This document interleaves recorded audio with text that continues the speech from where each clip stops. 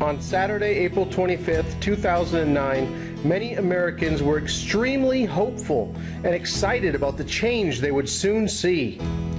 In his weekly address to a nation full of hope, our new leader said the following All across America, families are tightening their belts and making hard choices. Now Washington must show that same responsibility.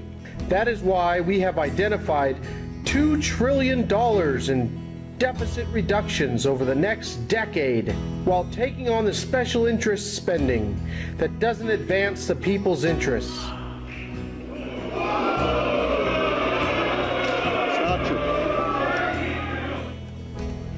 Further on in the address, Americans heard about some of the change they could expect. Our fearless leader went on to say, It's time to fundamentally change the way that we do business in Washington.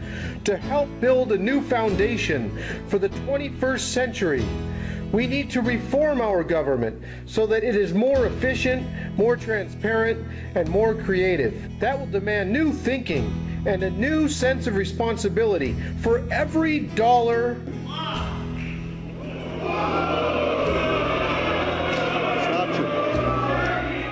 At the end of the president's weekly address, he told his hopeful, change hungry Americans the following We cannot sustain deficits that mortgage our children's future, nor tolerate wasteful inefficiency.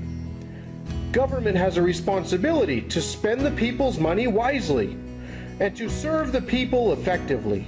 I will work every single day that I am president to live up to the responsibility and to transform our government so that it is held to a higher standard of performance on behalf of the American people.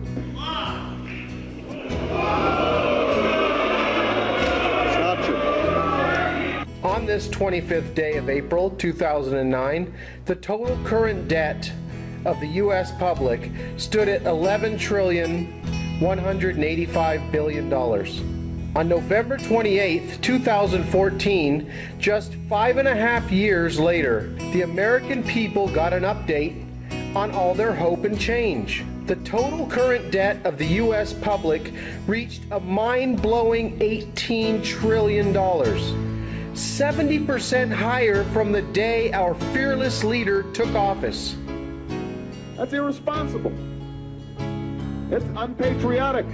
The hopeful changing update was so incredible that the big three networks, ABC, CBS, and NBC, didn't have time to cover the milestone. Apparently, the networks were still full of hope and didn't want to spread any negative change for a better understanding why so many Americans were so hopeful for positive change in the financial well being of their country, we have to go back to a 2008 rally where our commander in chief was getting everyone pumped up on hope and change.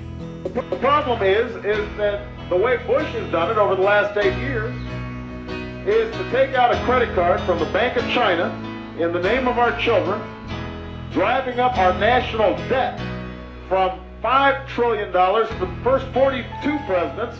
Number 43 added $4 trillion by his lonesome, so that we now have over $9 trillion of debt that, that we are going to have to pay back. $30,000 for every man, woman, and child. That's irresponsible. It's unpatriotic. That's irresponsible. It's unpatriotic. That's irresponsible. It's unpatriotic. The problem is, is that the way Bush has done it over the last eight years, number 43 added $4 trillion by his lonesome, so that we now have over $9 trillion of debt